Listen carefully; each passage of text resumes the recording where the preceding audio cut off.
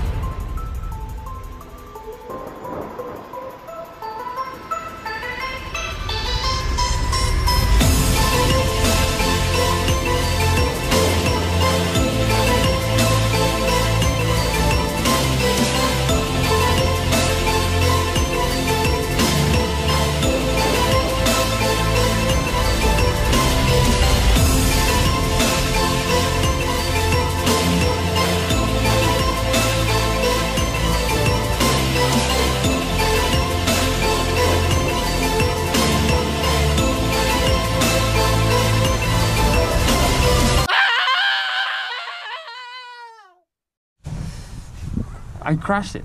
I, I can't believe it. The spark is made very durable, so.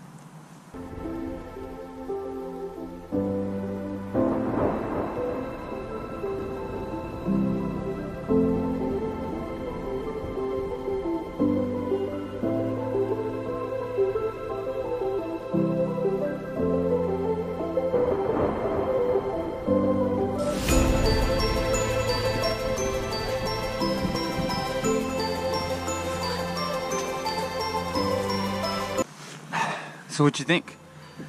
Pretty cool, right?